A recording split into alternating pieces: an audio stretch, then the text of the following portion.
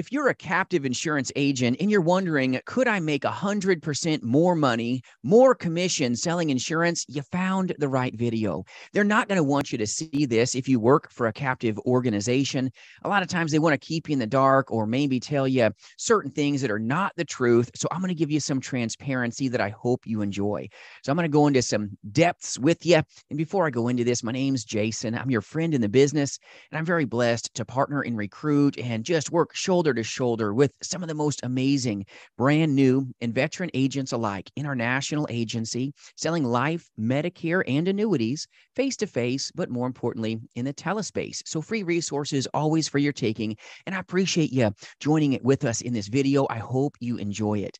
So, first off, I started off in my career as a captive insurance agent, believe it or not. And I was really held down in what I was paid. And this is why. All right. Now, this isn't all captive organizations. First off, captive life insurance handshakes aren't always the worst, but in most cases, you can make a lot of times up to 100% or more money, and it's a way better handshake for you. So, first off, number one, the reason that you're not getting a lot of compensation with some of these captive handshakes is because there's lots of layers, lots of layers here.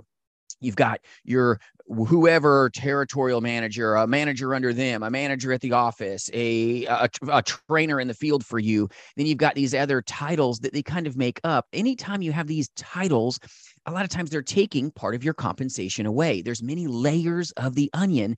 This is why a lot of captive organizations keep the lion's share of your commissions. So if you're getting 35%, 45% for selling life insurance, maybe 50% commission selling life insurance business believe it or not, you're not making what you should. You can truthfully earn a hundred percent more commission. This is so important. You're trying to make money for your family. You're trying to make people's lives better. And you being captive isn't keeping you from making people's lives better, my friends, but so much commission is lost when you have all these layers that eh, your commissions are leaving the front door as soon as you sell that first policy. This is so important to grasp.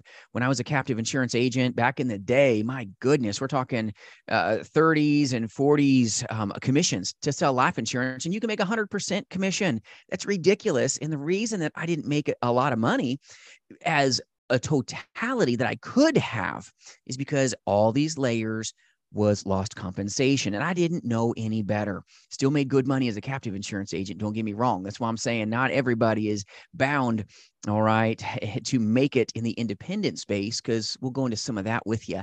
Not everybody's got that 1099 mind and grind, and there is risk in the insurance industry. But being a captive insurance agent, you're already used to the risk already, and you deserve to make more money and at least deserve to have this kind of knowledge to know that you can partner with an agency like ours at jasonfinalexpense.com and make 100% more in a lot of cases than you are right now. This is going to help you in your profitability.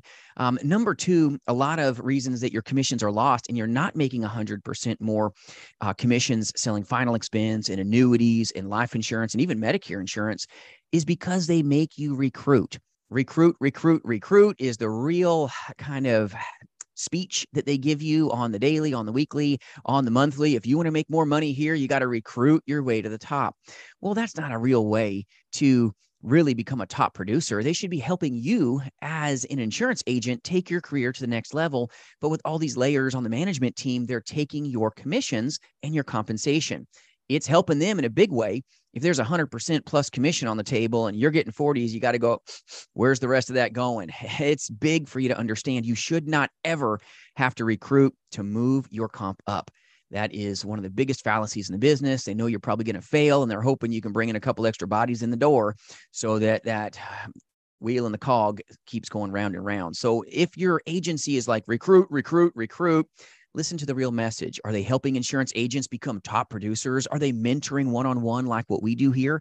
Are they doing a five day training platform with every insurance agent to make sure that they're competent and confident so that they can go capitalize in this space? Listen through the noise. If the captive insurance agency's tune is recruit, recruit, or number three, moving to the management team if you want to make more money, understand that the management team is probably the reason that you're making such low compensation. There is a price to pay when you've got this massive captive agency that has a ton of management uh, layers on it. And if you move into management, then you can make some money. You can be part of us, this us versus them mentality. That's the wrong mentality in my opinion. If you want to make more money, you want to make more commission with insurance sales, it's so important that you have good partners in the industry that can help you and you alone become powerful. They're invested in your success, not trying to get you to invest into their management team or you being invested in their company. Because believe it or not, a lot of captive insurance agencies out there, you're not vested day one. That means you don't own your block of business. So, this dream that you're building, you're building it for the captive insurance agency. You're building it for the management team. You're not building the business for you. And that's what beats up a lot of insurance agents. It costs you your business because you're building your block of business, right? All these clients that you're selling, and you're like, wow, I'm stacking all these clients. I'm making a renewal business for myself. And then you find out, wow, they're only paying me 30, 40, 50, maybe 60% commission. And you're like, I could be making 100% or more commission if I went independent and didn't have all these layers of the onions where I'm losing so much money. I don't have these layers of the onion where they make me recruit to get my comp moved up, or I don't even have time. Why would I take all this time to be on the management team if they're taking so much of my money and then you give back a tiny portion for me to be on the management team? Come on now. We've got to understand being an independent agent is massive and they don't want you to know that you can make so much more money and sometimes have way more opportunity as an independent insurance agent. If you sell final expense, for example, in my old captive days, one is none. All you got was one product to sell. In a lot of cases, it was overpriced compared to what's out in the free market. This is good for you to know. You can make not only sometimes 100%, not in all cases, but in most cases, 100% more comp if you're in the 40s, 50s uh, territory and you jump into our space, it's amazing, my friends. You can make so much more compensation. You've got so much more potential to be able to walk into that home and know that you can handle their business in the best way possible. It's such a good feeling. When I went independent, massively amazing, massively amazing. I had more opportunity with way more money on the table when I got to take care of these great people. It didn't matter if they had a dread disease, it didn't matter if they were on oxygen, it didn't matter if they were in a nursing home. I had the answers, I had the solutions, and I could find success because I could make these great prospects' lives better. I could handle the claims, I could get a hold of the underwriters like that. And some captive organizations won't even let you talk to the underwriter. They go, no, no, go talk to your manager and we'll take care of it for you. Wink, wink. And you're losing your wealth, my friends. You are losing your wealth if your captive organization is keeping the lion's share of your commissions. And also, let's talk about leads. A lot of organizations use leads as leverage over you, and you're not going to get an overwhelming level of control and capitalization if you can't even control your lead flow. A lot of captive organizations will treat you like a W 2. They're like, oh, yeah, you want leads? Good. Show up for every one of these meetings. If not, well, sorry, no leads for you today. Leads are a control over you. Not only are you losing out in commissions if you're not making 100% plus compensation selling insurance, in the life space, but you're leaving a lot on the table when you can't even control your lead flow. Maybe your company's giving you data, like three year old data where all the numbers are disconnected tough to be dynamic, my friends, when you can't control your leads. If you want to make a lot more commission, you've got to control the leads. They're the lifeblood of your business. And if you want to make more money, you can't hamstring yourself by having a 35%, 45% compensation grid or even a 50% compensation grid. You're not going to make the money that you could. And oh, by the way, as an independent agent, you will be vested and own your block of business from the beginning. Meaning, if you've been in the business for a year or two or three or four, all that money is yours. If you decide, oh, insurance isn't for me, that money still shows up in your mailbox and shows up in your checking account. You still get paid your renewals. You own your business. And a lot of captive insurance agents keep these little secrets about vesting. They also have these little secrets about a non solicitation agreement or a non compete, meaning you can't even once you've been there, you sold a captive product and you realize, oh, that was priced really bad. It's not the best handshake for my mama, my friend that I sold this policy to. you can't go solicit and fix that person with a better product that's a better price and a better death benefit, which is better for the consumer. So a lot of times captive insurance agent handshakes come at a cost. You're going to you're not going to get as much money in a lot of cases. Your compensation is really diminished and your opportunity is also in a place where someone else controls your destiny. There is risk as an insurance agent, especially the independent space, but there's risk being captive. You've got to realize, do I want to make more money? Do I want to have more control, more opportunity? Do I want to own my block of business so that no one can tell me what to do with my block? You've got to have a strong way about you when you're an independent agent, you need a good work family like what we provide here at jasonfinalexpense.com. You've got to have good partners around you so that you can keep your mind right and hopefully your money right too. But you can make so much more money in most cases. Now, there's a couple exceptions, but we've had so many captive insurance agents that have joined and partnered here and found they could make so much more commission selling insurance, even with annuities. My, there's some captive organizations that won't even let you sell an annuity without using a financial advisor because that model is all about taking your money,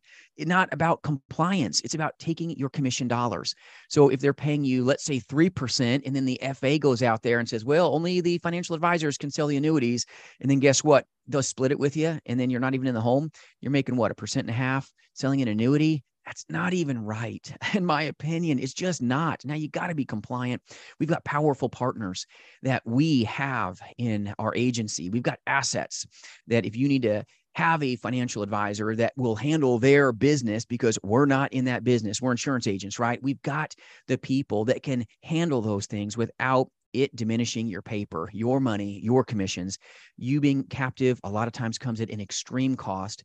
In most cases, not all cases, my friends, you can make a hundred percent or more commissions. You can control your leads, control your destiny, but more importantly, control the dollars that you make because this business that you're building should be for you, not for your management team to take if you leave before you're vested happens to more people than you may even know.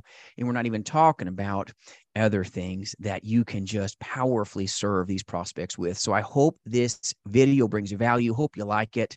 Uh, share it with a buddy if they're in a captive environment that they're making less than 100% compensation if they're in a 45% 50% handshake handling the business of being the best uh, captive agents are amazing i love captive insurance agents because when they taste what freedom tastes like their take home pay, their commissions are so much greater.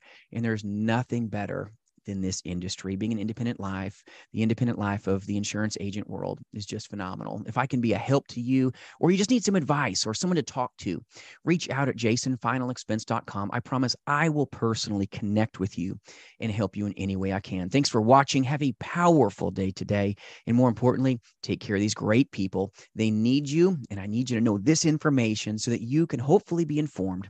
And with knowledge, hopefully, will come a powerful solution for you moving forward. We'll see you soon.